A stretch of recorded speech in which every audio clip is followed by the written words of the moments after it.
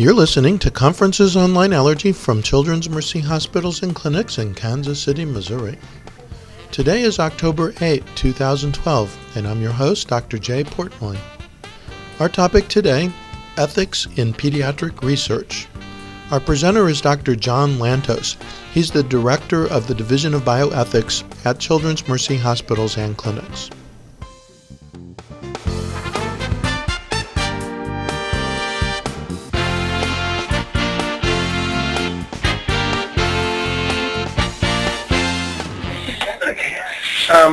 Morning, everyone. We're going to continue um, with part two of the COLA today.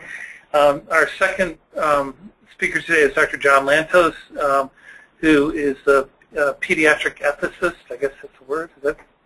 Absolutely. Um, and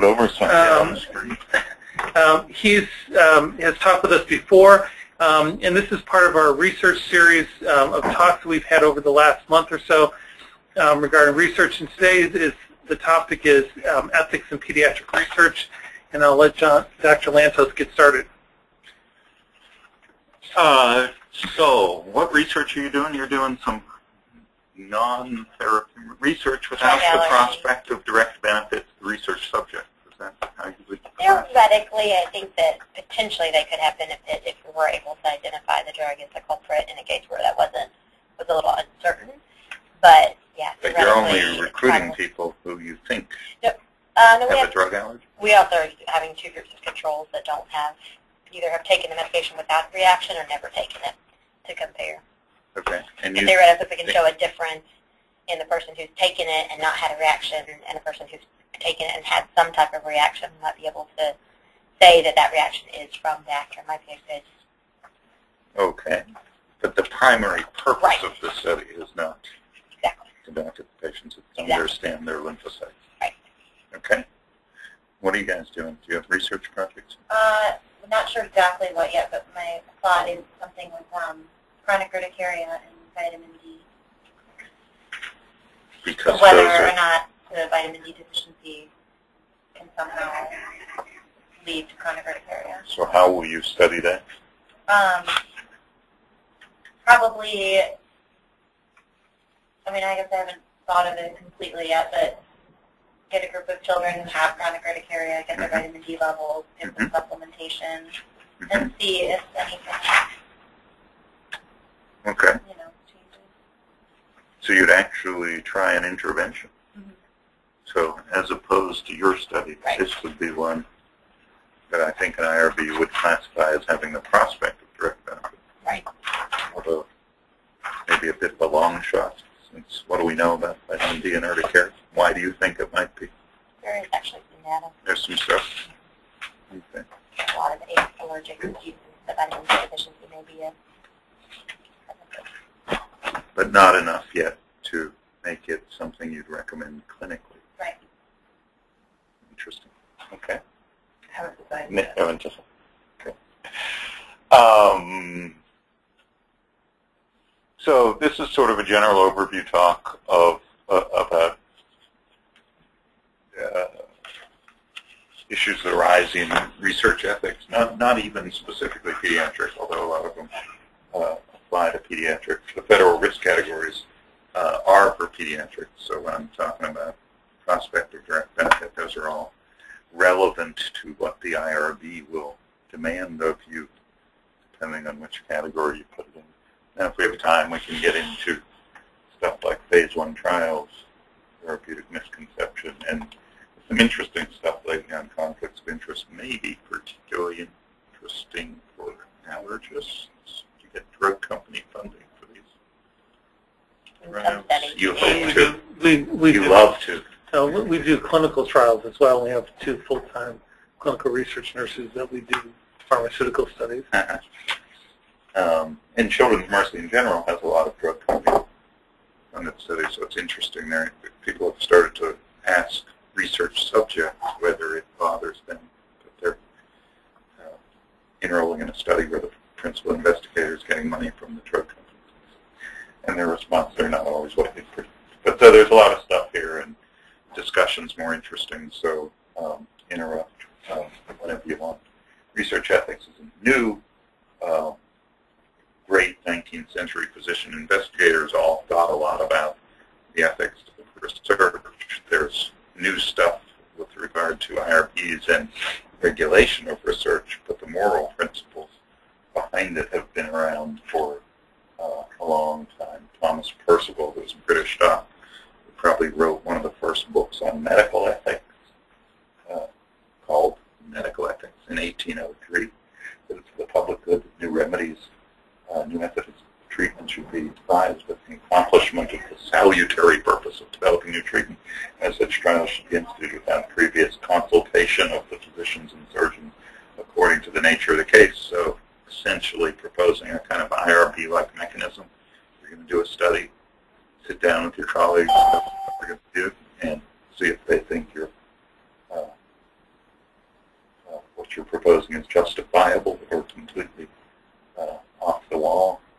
Everybody remembers William Beaumont, who did some of the great studies on gastric physiology. Remember him from medical school?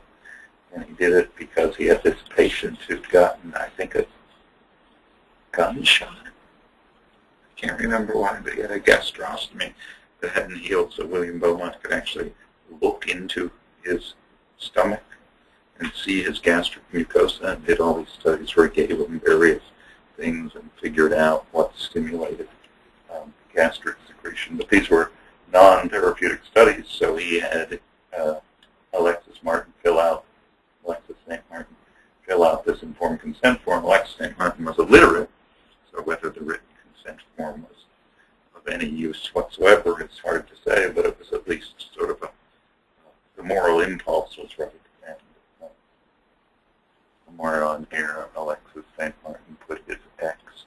They see it, it's, they have it. See in the middle, it says Alexis St. Martin, Okay. there's X in the middle of it, where someone wrote it. There you go. So, consent form. So, and as a result, he wrote this classic textbook in 1846, um, and is now the subject of a novel by Jason Karlawish, who's a geriatrician and bioethicist and. So if you want to read more about the obsession of Dr. William Beaumont, you can find a novel. Go see the movie. Um, and Beaumont came up with his principles for um, uh, ethical principles. Justifiable and the information can't be otherwise obtained. Investigators must be conscientious and responsible. Well-considered methodological approach. No random studies. He didn't mean randomized. He meant uh, uh, sort of, I have a good idea, N of one. Uh, you know, let's just try it. See, you should have a good study methodology. Consent is necessary. If it causes distress, you stop the study. Or if the subject says, I don't want to participate anymore, you stop the study. Very much like current uh, federal regulations. So they've been around for a long time.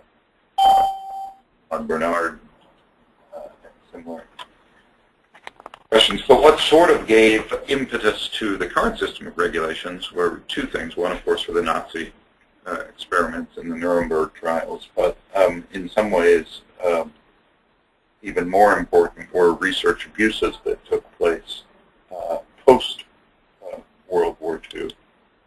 Um, Nuremberg Code was focused entirely on consent. Um, the research abuses, famous research abuses, can you name one?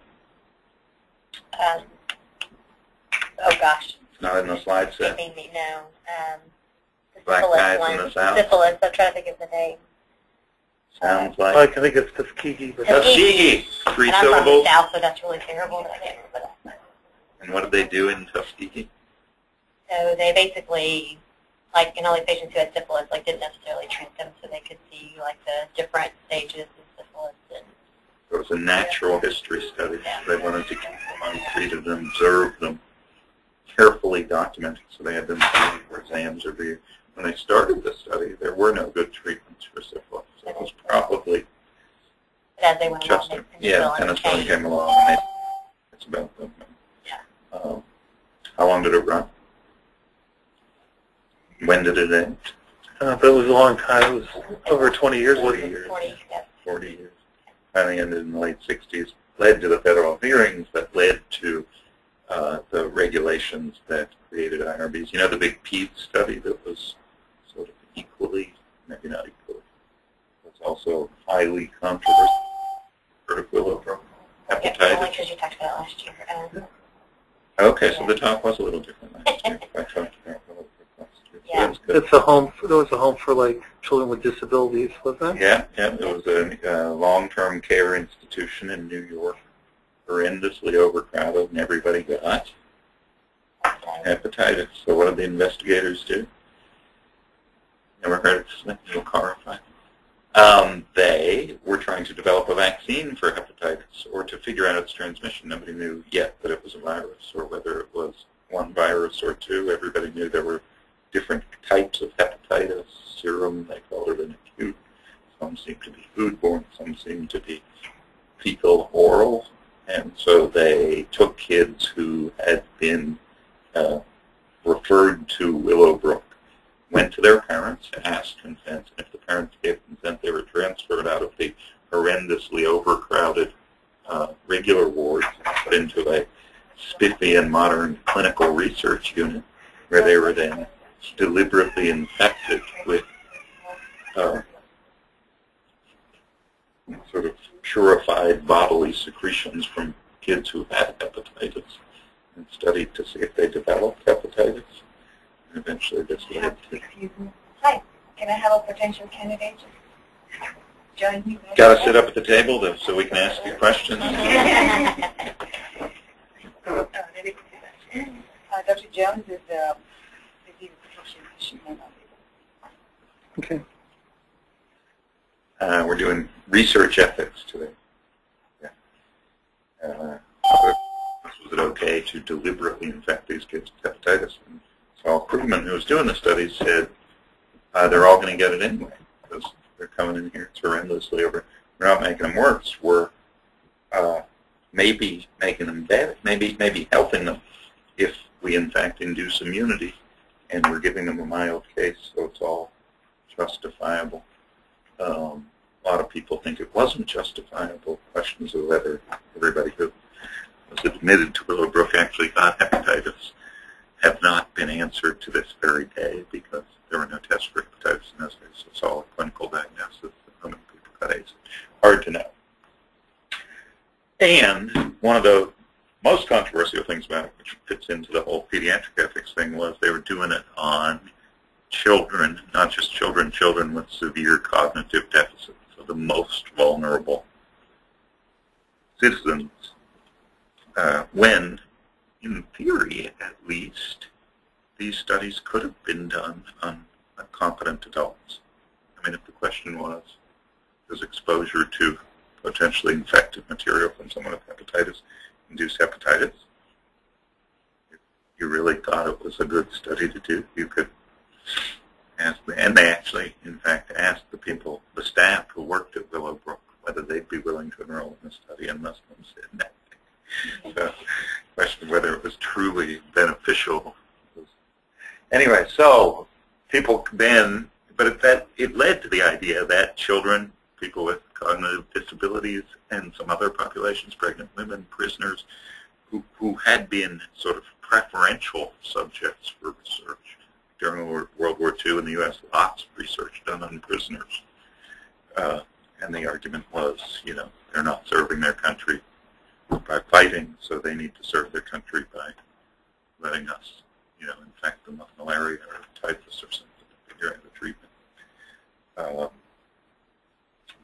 by the late 60s, early 70s, that pendulum swung and said, you can't do that anymore. People need special protection. With children, the question was, you know, can you ever do research on kids? And there were sort of two schools on thought. One was if you need consent to do research, and children can't consent, at least tiny children or children with cognitive disabilities, you can't ever do um, research. Oops.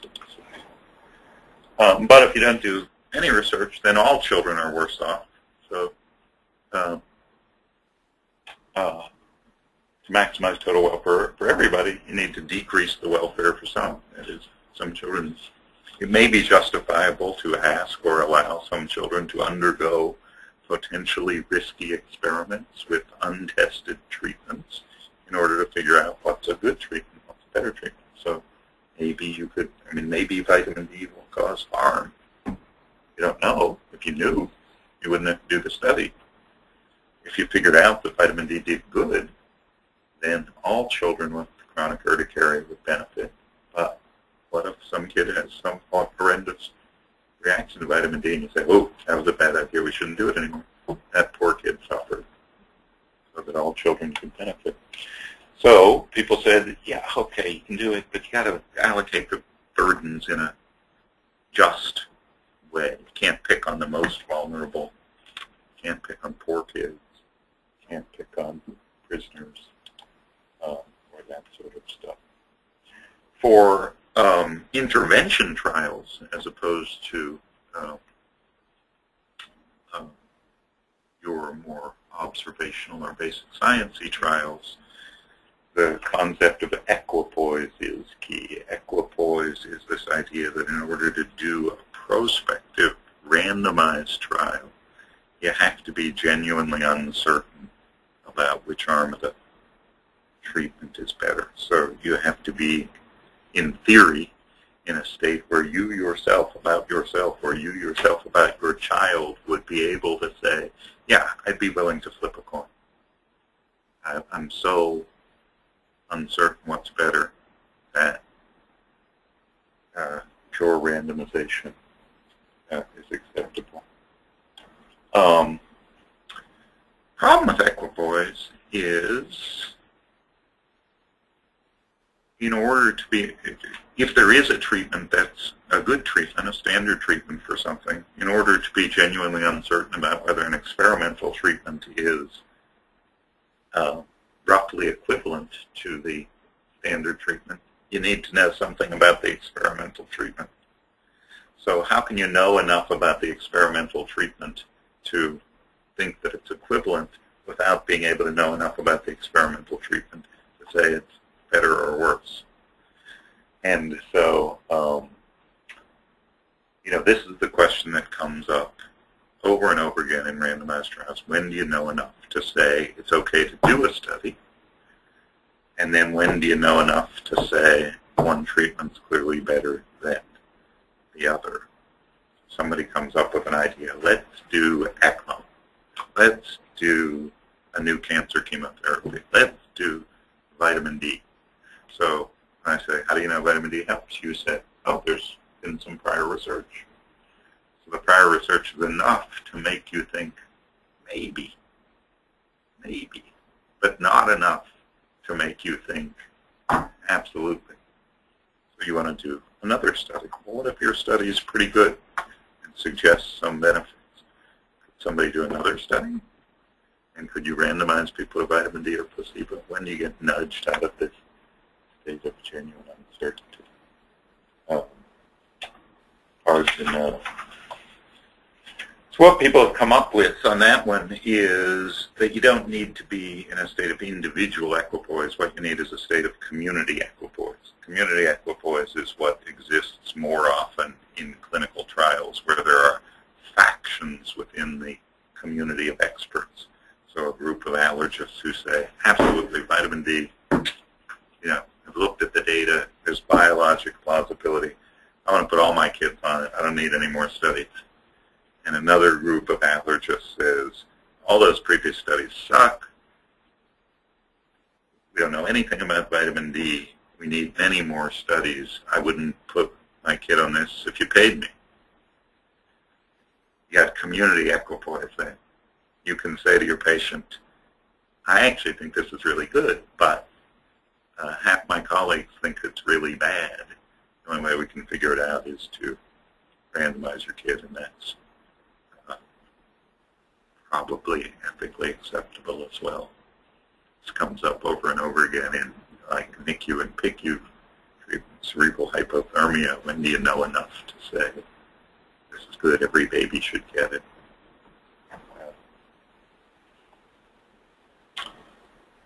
Equipoise is tricky for patients too because if you're going to get their consent, they also have to be in enough state of genuine uncertainty that they're willing to be randomized or let their kid be randomized So both doctors and patients have to be uh, uh, on that knife edge of uncertainty. Uh, and there are studies where docs have been in equipoise and patients have not. And you can't enroll people. So one of the famous ones in surgical history was uh, when, when lumpectomy was first coming along for breast cancer, and the standard treatment was radical mastectomy. And somebody said, no, you don't have to do a radical mastectomy, just a lumpectomy with you. And oncology surgeons were at each other's throats. I mean, the radical mastectomy people were passionately in favor, and the lumpectomy people were passionately in favor. And they said, let's do a clinical trial. And they couldn't enroll anybody because uh, all the patients had a strong preference, even in the absence of evidence. Some women said, you know, radical mastectomy is the way to go. That's what I want. Others said, no, no, no. But it was hard to, hard to do a trial. Uh, and to start a trial and to stop. So those are examples. Uh, is it worth going through ECMO as a case study of equipoise? Go through very quickly. Uh, not because you all care about ECMO, I don't think, but because it is an interesting example of uh, how this happened. When ECMO first came along, people said, let's do it in adults with ARDS because it's better to try things in adults than in kids. It made sense that it would work in adults. Somebody, there was one case report in the New England Journal in 1968. Everybody got all excited, and the NIH funded a multi-center prospective randomized trial of ECMO versus standard ventilator management for adults with ARDS. 90 patients enrolled, nine centers, no different. Study was stopped. Same time, Bob Bartlett, who was at UCLA and then moved to Michigan, said, I think this would work better in babies.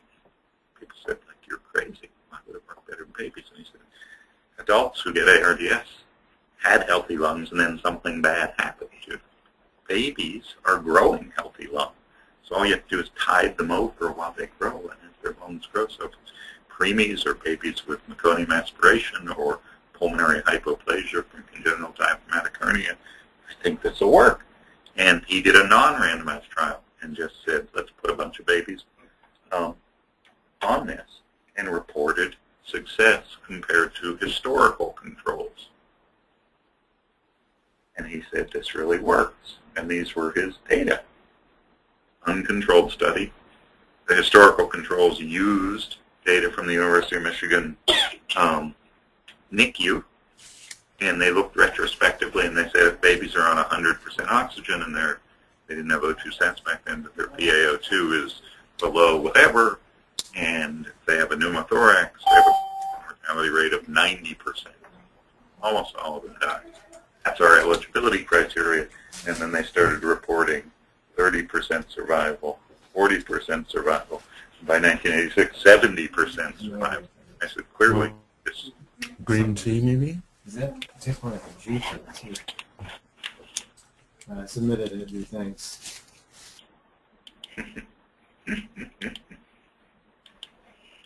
Remote learners. Mute your microphone.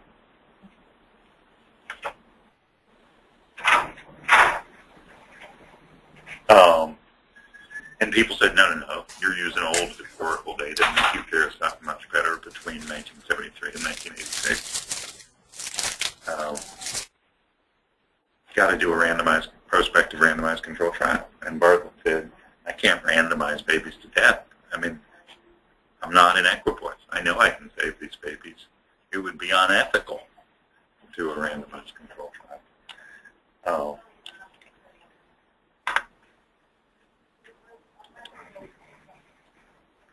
Uh, so he consulted with, they great statisticians in Michigan, and Bartlett consulted with his statisticians, and they said, we have a study design for you that will answer this question definitively and minimize the number of kids who have to die. It's called Play the Winner. How does it work? First patient, you flip a coin, 50-50. They get ECMO and live. The chance of the next baby getting ECMO when you do the randomization will be weighted towards ECMO. If they get ECMO and die, the next randomization will be weighted towards standard therapy. So play the winner each time. And uh, the statistician, there was a whole issue of the Journal of the American Statistical Association looking at this and saying, like, yes, this is a better way to get to statistical significance with a certain power without um, randomizing so many patients. Did the study, the first patient got standard therapy and died, the next 11 got ECMO and lived, and Bartlett said, see, now I've proven it. Anybody nudged out of equipoise here? So pediatricians were not. ECMO docs were. Um, ECMO took off in the U.S. In England, they said, no, no, no, that doesn't count. That's not a good study. We're going to do a real traditional, fully randomized thing, multi-center, prospective, 185 babies, and they found the same thing. 30% mortality with ECMO, 60% mortality with conventional therapy. And they said, okay, now we're convinced. Because that solved the equipoise problem. Pretty convincing uh, evidence. Um, Bill Silverman was an neonatologist who was a passionate advocate for better evidence-based medicine. Um, and he said, okay, now they've done a randomized control trial. I actually argued with him and said they shouldn't have done the trial in the first place because the existing data was so strong that no reasonable person should have been in equipoise anymore, and they shouldn't have randomized. But you could almost make a third argument, which is a more traditional scientific argument that if you do one good experiment, that doesn't prove anything. You have to repeat the experiment. It's what, you know, basic scientists do all the time. You report your results on lymphocyte stuff. Somebody else is going to, that's why you have the long method section. They can tell somebody exactly what you did and they can try to repeat it. And if five people, ten people do the same thing, then you've got yourself a fact. In clinical research, we don't do that because of this trade-off between science and ethics. Could say, okay, one good study on ECMO, let's do another one and see if it confirms the results. And in fact, when you do studies like that, uh, often you find different results. The world's full of simultaneous prospective randomized control trials that give conflicting results. So we don't actually do terrific um, science. I'm going to skip this one. because um, it's sort of the same story as ECMO. And there's some other more interesting stuff. But basically, hypothermia, uh, people did small studies. They showed some benefits. Yikes. Uh, other people said you got to do more studies. Some people said it's already we've done enough. We know, and there was a big, there were sort of five years of debates in pediatrics in the New England Journal. Have we done enough? Is it standard? Um, and what happened with hypothermia was a little different than ECMO. That sort of happened with ECMO a little bit too. Uh, ECMO sort of is more like a surgical procedure. Either on ECMO or you're not. It's a one-time thing. If you do it, you do it. Hypothermia is more like a drug. How cold for how long? Just head cooling versus whole body cooling.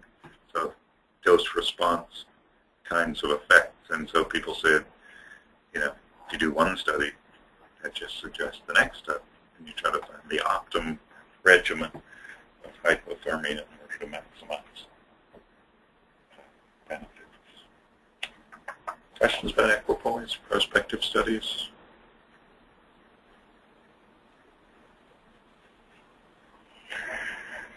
Conflict of interest in industry-sponsored trials. Um, so our IRB, most IRBs, um, the AAMC, federal regulations say if you have a conflict of interest and you're an investigator, you have to tell people about it uh, when they consent to the study. Suppose exists any significant financial conflict of interest held by covered individuals conducting human subjects research. Uh, do we do that? Sort of. I mean, we have it in the written consent form, but it turns out um, there's all sorts of conflicts and figuring out sort of which conflicts are material and how to explain them and whether people actually uh, find them relevant is um, less straightforward. Why do people um, think it's important to disclose conflicts of interest? Well, the standard ethical answer is promote autonomy, which is sort of a procedural answer. People have the right to information. You can't act autonomously unless you have all the information that's relevant making an autonomous decision. If you, as an autonomous agent, think you would not want to enroll in a study if you knew that your investigator held a patent for the study drug, you have a right to know that. Um, probably the more common reason that people actually disclose is to avoid liability. Um, you know, if I tell you I hold that, then you sign up for it. Something bad happens, well, you signed up for it, so you can't sue me anymore. Um, and some people say disclosure works uh, as a sort of shame-based deterrent to having conflicts of interest in the first place. So having to say that you own 10,000 shares of stock in the company that uh, you're studying might make you not want to be an investigator. Um, so what do um, potential study subjects say about conflicts of interest? This is an interesting study where they uh, found thousands of adults with diabetes or asthma, and they gave them various disclosure statements, the theoretical study. If somebody approached you, so they had patients who were, you know, had a disease, so for the population of people for whom you might imagine somebody might come to them and ask them to begin a study, and said, uh, so what if we said to you, uh, well, well, I'll show you what they said, but they tried to categorize the types of conflict of interest or the types of disclosure as generic per capita payments, that is, investigators paid per enrollee, um, getting money outside the study, that is not per capita payments, but we're going to give your lab $50,000 uh, because you're willing to participate in the study, researcher owns stock, or the institution owns stock. So this is the generic one. I want you to enroll in a study. Dr. Smith, the person leading this study, might benefit financially from this. The administration at Welby Medical Center has reviewed the possibility of financial interest. They think it's not likely to affect your safety, but if you'd like more information, ask the study coordinator. Pretty vague. Yeah, there's conflict of interest potential. Per capita payments, Dr. Smith might benefit financially. Acme Pharmaceutical pays Dr. Smith for study supplies, staff salaries, and for each person who agrees to participate. This amount of money is just enough to cost, cover the cost of running the study. If you're willing to participate. Dr. Smith, the person leading this study, receives money from Acme Pharmaceuticals for consulting, giving speeches. He's in the speaker's bureau, and he might get thousands of dollars for this work. I want to sign up for the study. Dr. Smith owns stock in Acme Pharmaceuticals. He could gain or lose money depending on the results of this study. Or Dr. Smith, um, uh, oh no, Dr. Smith doesn't own uh, stock. That's okay. But Welby Medical Center has this stock in its endowment. Uh, and part of what they found was most potential study subjects uh, couldn't care less. Um, most of them weren't surprised to learn that there were conflicts of interest. They were a little bothered by stock, but even that was um, not a whole lot. There was the sort of data they found. Interestingly, they found people weren't bothered um, uh, in the sense of being willing to participate in the study. A lot of people said, yeah, I, I, I want to know that. I'm glad you told me. Off to your next interview.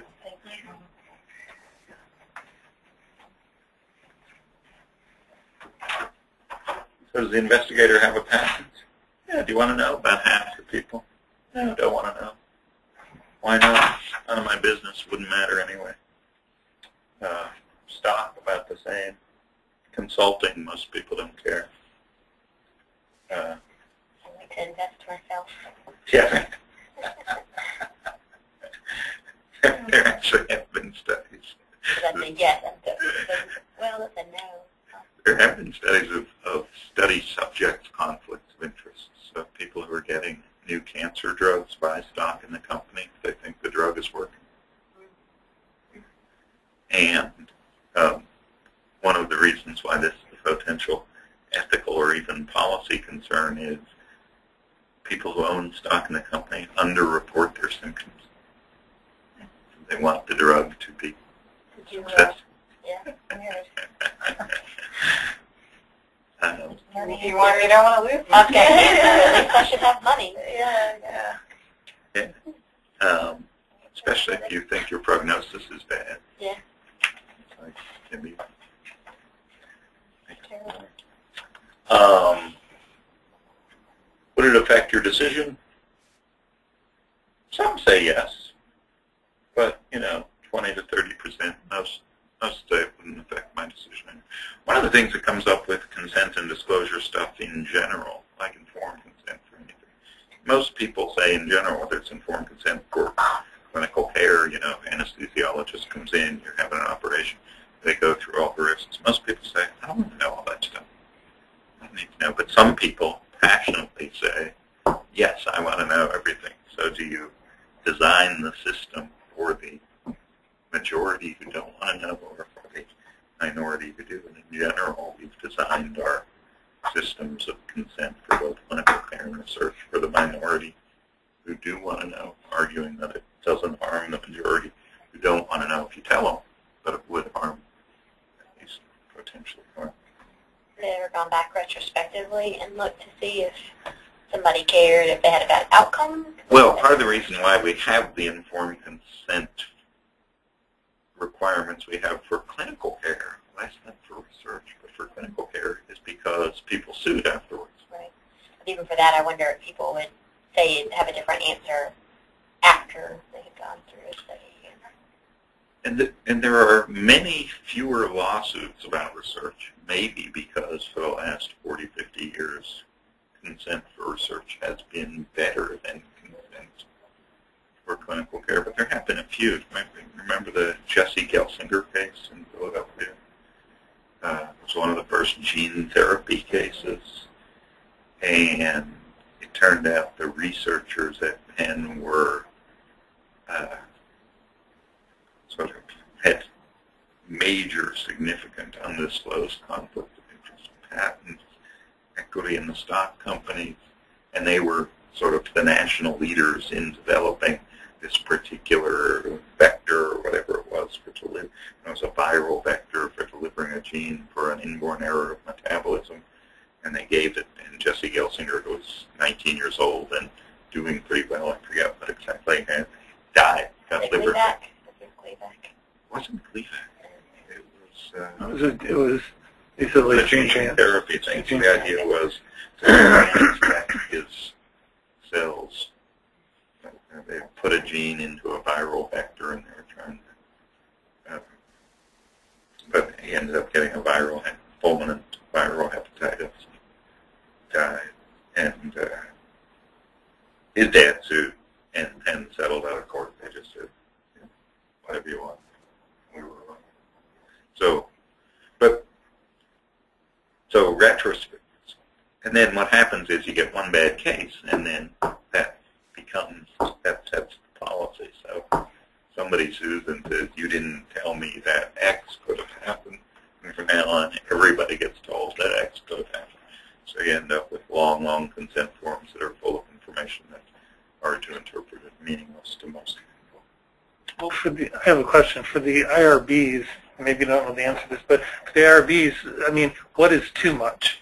You know, Much disclosure. No, I mean not so much disclosure, but but when you have too much interest in a in a product or a company or whatever, when's when's the point? You know that this is too much. We this isn't. We can't do this study because I mean they ask you. You know if you have more than $10,000 and whatever is usually kind of the thing for most of these things, you can sign up. But I mean, if you're you're doing the study and you think it's a reasonable study, but you also have a patent on it and you're you have a you know you're going to be making that does well, you're going to get $100,000 or something from the drug company, blah blah blah. I mean, what's the point where even if it's a good study, that there's so much conflict of interest that you you know you don't feel comfortable doing it? I mean, how did the IRB decide that? So it's institution specific. There are not federal regulations about that. Um, but as you say, there are two thresholds, right? One is what do you have to disclose, and the other is when is disclosure not enough. Uh, so many institutions say if you hold a patent on a drug, you can't be the PI of a study. Disclosure is not enough. You have so much invested in this drug being shown to be beneficial that you can't possibly be objective. What happens then is, so you get your colleague to be the PI and you become a co-investigator. So it's uh, a kind of, uh, not sure how effective it is in guarding against those potential conflicts of interest, but it's better than nothing. And I think it is a reasonable threshold to say, just, you know, there, there are some conflicts for which disclosure is not enough. Doctors in general, or the medical profession in general, tolerates way more conflicts of interest than almost any other profession. Right? I mean, lawyers would never be permitted to take money from sort of a party to litigation that they were involved in as the lawyer. Drug companies, so one of my favorite, you know, drug companies perhaps always want to take you out to lunch. Try taking a drug, try picking up the tab. They will not let you pick up the tab. And if they did, they would get fired. Because they understand that letting someone pick up the tab creates a gift relationship and a conflict of interest that you feel sort of gratitude and some sense of obligation if somebody takes you out to lunch. That's why they take you out to lunch. So that you feel some gratitude. But they won't let you take them out to lunch. Um, financial advisors, same sort of thing. You can't say like, oh, it's a manageable conflict of interest. Uh, you know, disclosure's enough. They just say, you, can't have any conflict of interest. Um, but docs go like, oh, we can handle it. That's not going to bias my judgment. No, little stop. um,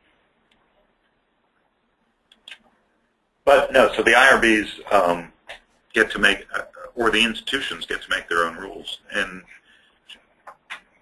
Children's Mercy has strict rules, I think, although fewer conflicts than many places. So the big research institutions, Harvard, Penn, Stanford, uh, now everybody on the faculty has you know, patents and uh, they're on advisory boards and they're, uh, you know, have either started companies or run stocking companies. Uh, there's a guy who came, came and gave a talk here at the personalized medicine pharmacogenomics thing. There's a, uh, I think he's, he might even be in, has Atul Butte in Stanford. Maybe he's a pulmonologist. But he's one of these uh, things. He puts up his first conflict of interest slide, and he says, I consult for these 18 companies. I hold these 12 patents. I'm on these four speaker bureaus, and uh, so you shouldn't believe anything I say. And in fact, it has the opposite effect. Right? You say like, oh, oh he must be really, really smart. Uh, so how do you how, how institutions that are more into those academic industry partnerships than we are. But I think we tend to be more uh, the recipient of contracts to do studies. So the drug company will come to us and say, yeah, we need 10 sites for testing this drug. Here's the protocol. We'll give you this much money. Do you want to be part of it? But um, at more high-powered research places, investigator-initiated, they go to the venture capitalists. They start a company. And those conflicts are trickier and harder to manage, I think. Um, grants create interesting conflicts of interest too. They're not usually treated like industry partnerships, but if you get an NIH grant, you're doing a study, you want to get a published paper. Papers with positive results are more likely to be published than papers with negative results. If you publish more papers, you get more grants. So, um, but it's interesting. We don't generally I mean, we disclose an NIH-funded study, but we don't disclose it as a conflict of interest the way we tend to disclose uh, private things. Um, I wonder if, just see if I had the categories. Might be the best thing to finish with. Oh, this might be good. Uh, parents willing to take risks for medical research. Um,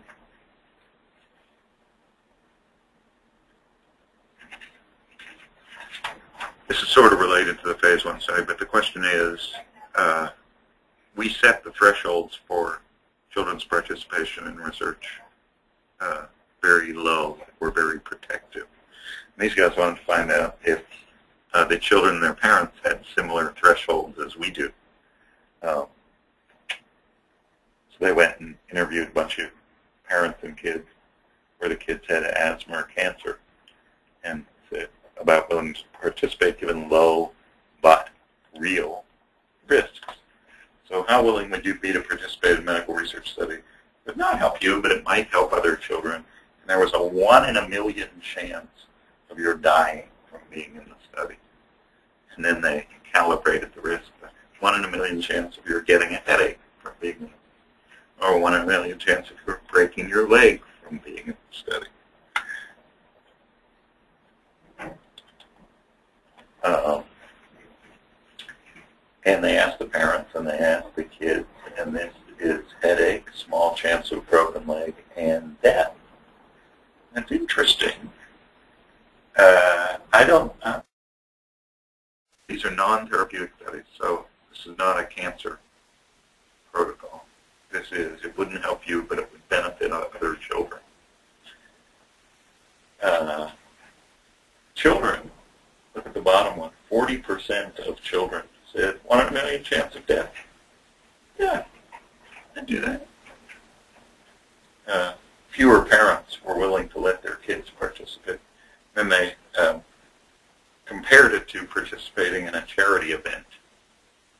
Would you be willing to run a race for charity? And found that the numbers were actually pretty similar, that kids tended to view participating in research sort of like working for charity. Char doing a charity event, you don't have to go through an IRB.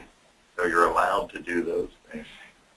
Participating in research has to go through an IRB, and IRBs generally don't allow it. So the point of this study, I think, was parents and kids view research as an altruistic thing. Uh, IRBs generally, well, they view it as altruistic, but they don't allow the same sort of risks that they allow in other altruistic behavior. And I'm sure, like parents, if it was like individual, like you know, them going through that, it'd be higher than it is for their child. Presumably. You ask them the same question. Presumably it would. I haven't seen that study, but I bet it would. Um, Interesting what the kids would, if the kids would get consent for their parents to have the study. Yeah, exactly. Depending on what age they are.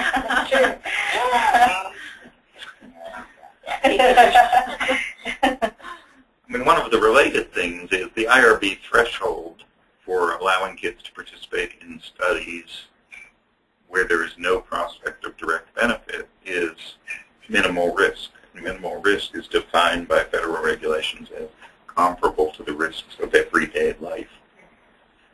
Um,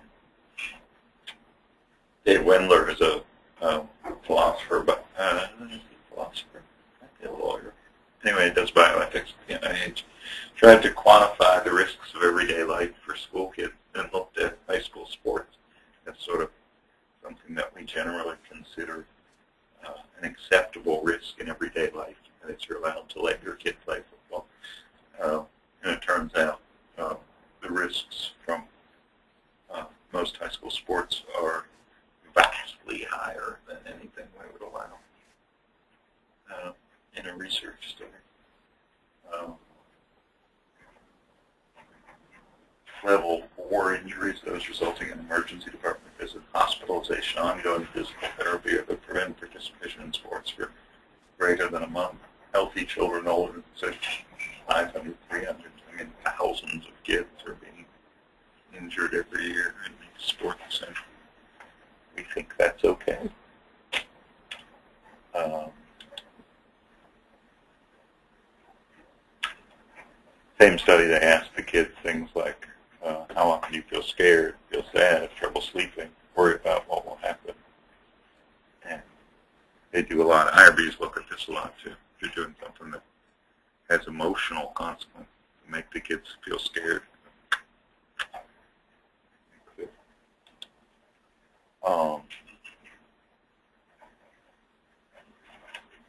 and not in that same paper, but in a different one, the finding of parents and children consider some non non-beneficial studies acceptable undermines the claim that non-beneficial and risky research is not necessarily unethical. I'm not sure it does. It at least says there's disagreement. You could argue participating in football is unethical. Um, okay, we can finish with this. Um, as you think about your studies, these are now the federal regs. This is what the IRB wants you to do. Do you know all this already?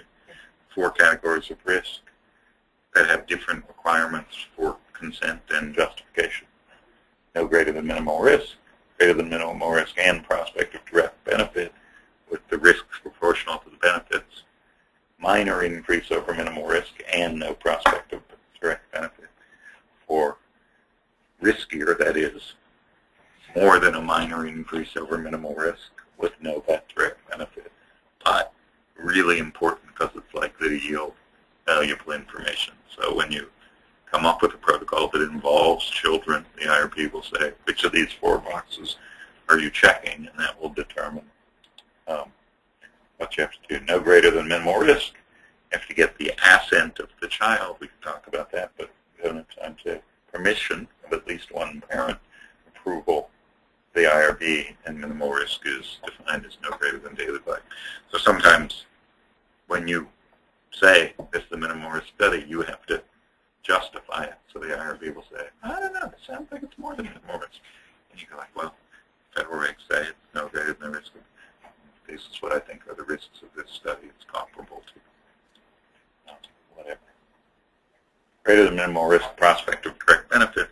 This is most intervention trials you're given a new drug.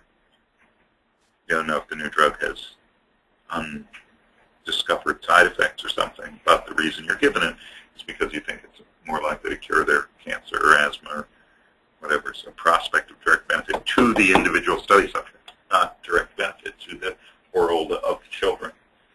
Um, and you have to then be able to say possibility of benefit justifies the risk. Given this toxic new chemotherapeutic agent for but, and we know that it has terrible side effects, but we think it's likely to have fewer side effects than the current standard.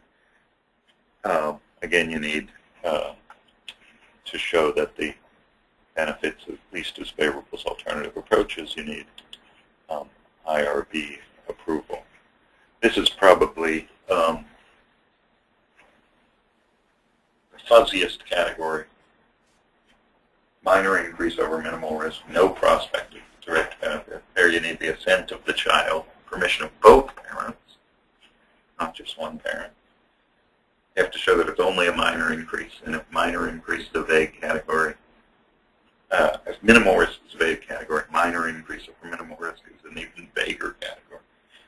Likely to yield knowledge of vital importance, research risks, this is an interesting thing they did with minor increase over minimal risk. They say, the regulations actually say, it's no longer the risks of everyday life. It's the risk of everyday life for a child with this condition. So you can do studies that have a minor increase over minimal risk for kids with cancer, and the threshold that they calibrate it to is what's everyday life like for a child with cancer. So it may be permissible to say, put them in the hospital, start an IV, uh, do the sorts of things that kids with cancer get, but that healthy kids generally don't. And you get um, IRB approval, of course. You have to get IRB approval for you have to get IRB approval for things that don't require IRB approval. The IRB has to tell you that they don't have to approve it. Um, above the minor increase or oh, so then there's this um, fourth category, which is it's greater than a minor increase over minimal risk, no prospect of direct benefit, but so so really important that it ought to be done anyway. And for that, you have to go to the IRB. The IRB has to agree with you, and then they send it to the feds, and the feds convene a special panel to decide whether this study really is so, so important and couldn't be done in any other way to answer a question that's uh, crucial. They put together this panel, they publish their results, there's a period for public comment. The process takes months and months, but eventually they sometimes approve those. We should probably stop. What else did I have? Oh, this is that 407 review process. Um, this is my editorial, I guess. I mean, I think the system overemphasizes the risks of research, underemphasizes the risks of using non-studied therapies. So you want to do your vitamin D study, you want to enroll kids in a prospective trial, the IRB will examine every word on your informed consent form. If instead you said, screw that, I'm just going to put everybody on vitamin D, there'd be no oversight. You could do whatever you wanted. And uh, uh, I would argue when you do that, the kids you're giving the vitamin D to outside a study are at much greater risk. Kids in the study, but without the same level of oversight. Local IRBs can be inconsistent. There's a lot of studies on that. People taking the same study, multi-center studies, to 38 IRBs. They get 38 different responses. Some approve them in a day, some take three months, some require them. And the system's designed that way. There's no appeals process. IRBs are uh, anonymous, confidential. You can't read the minutes. There's no accountability. Uh, okay. Questions? Anybody in the audience have any questions for Dr. Lantos?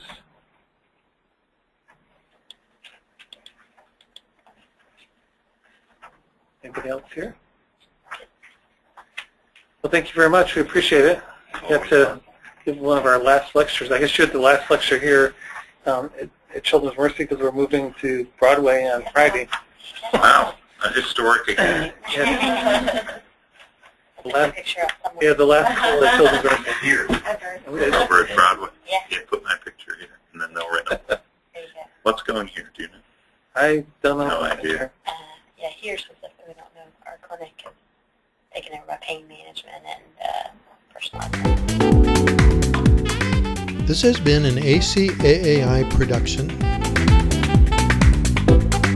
Learn more about conferences on Lyme allergy or the American College of Allergy, Asthma, and Immunology, go to acaai.org.